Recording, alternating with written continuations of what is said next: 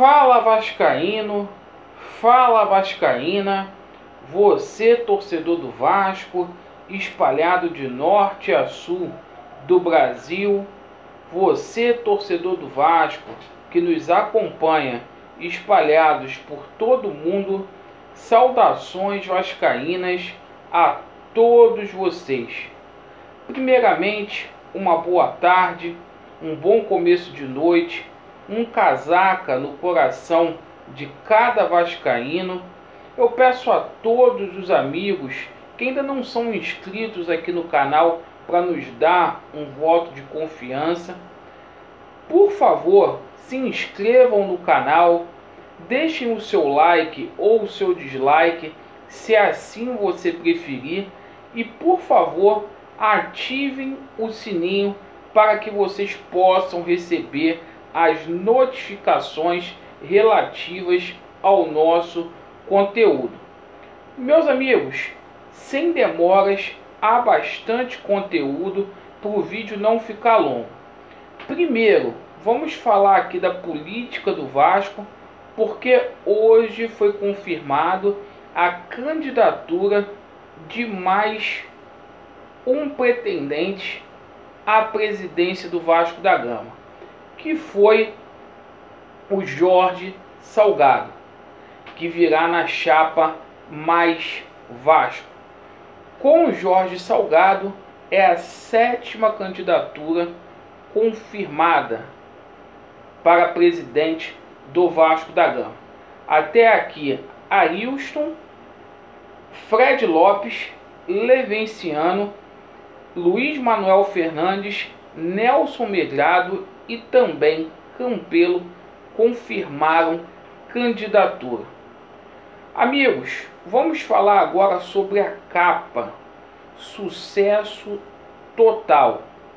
Hoje, todas as lojas da Gigante da Colina lotadas, abarrotadas e o torcedor do Vasco está aí para poder bater recordes capa, façam mais remessas, porque vai acabar logo, logo.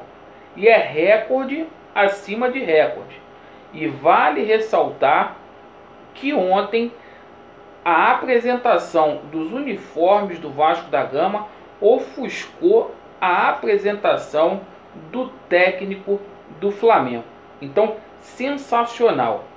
Deem preferência para as lojas gigantes da colina para você fazer as suas compras, porque lá vocês têm desconto de 15%.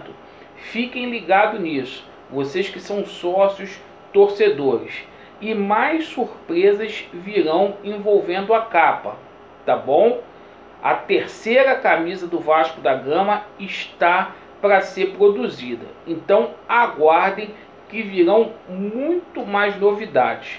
E o Vasco da Gama, a equipe profissional, treinou hoje lá no estádio Ronaldo Nazário de Lima, ou se preferir, o estádio do São Cristóvão. E o Ramon comandou as atividades técnicas e físicas. Foi confirmado o Vasco da Gama só enfrenta o esporte dia 13.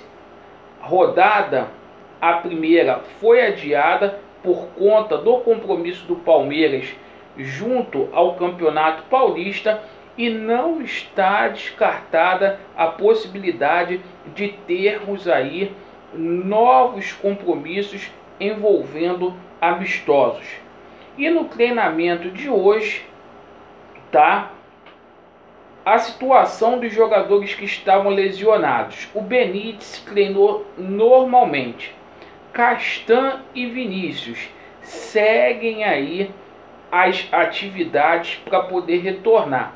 A situação do Castan é mais simples. A situação do Vinícius é muito complicada, pois ele sentiu a panturrilha e dificilmente ele terá condições de enfrentar a equipe do esporte.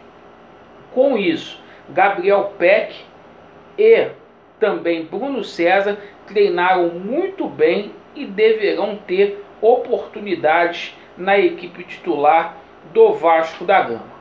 A situação envolvendo reforços, né? O Vasco aí confirmou mesmo Guilherme Parede e também o Carlinhos. O Guilherme Parede assinou aí é, o contrato com o Vasco da Gama. E se o Vasco quiser contar com esse atleta aí pós campeonato brasileiro terá que desembolsar uma grana aí nada mais nada menos do que 4 milhões e meio de dólares. Muita grana. Carlinhos também confirmado aí. O caso do Carlinhos ele foi pré-registrado e vai assinar com o Vasco da Gama até 2022. Hoje houve uma manifestação do empresário do Júnior Tavares, né, falando que não tem nada de concreto.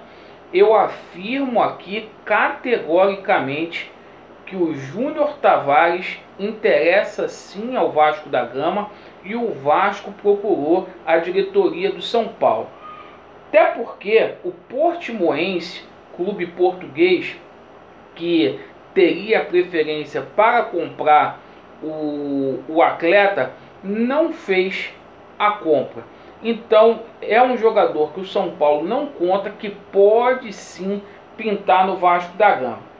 Hoje se falou muito num jogador argentino chamado Lucas Romero para o lugar do Raul um jogador lá do Independente, que a gente conhece muito bem, que teve passagens aqui pelo Cruzeiro. Este atleta aí não está feliz no Independente, embora tenha contrato até 2023. Então a situação de momento é essa aí. O Lucas Romero pode sim pintar no Vasco da Gama. E meus amigos, a diretoria do Vasco tem um bom relacionamento com a diretoria do Independente. Então o negócio pode fechar sim. O Cruzeiro também tem interesse no retorno deste atleta. E a situação aí envolvendo o Guarim. O Guarim está numa dificuldade para voltar para o Brasil, problemas aí envolvendo o filho do Guarim, né? Os filhos, processo de guarda, Guarim deve ficar realmente na Colômbia. E não está descartada aí uma troca, o Ricaute vir para o Vasco da Gama e o Guarim ir para a Colômbia. Isso pode ocorrer sim. A gente tomou conhecimento disso hoje. Então, meus amigos, essas foram as notícias do Vasco da Gama. Para o vídeo não ficar longo, a gente vai parar por aqui na live das 21h30 a gente explica muito mais sobre essas negociações. Abraço a todos, Vasco neles e a verdade prevalecerá. Valeu!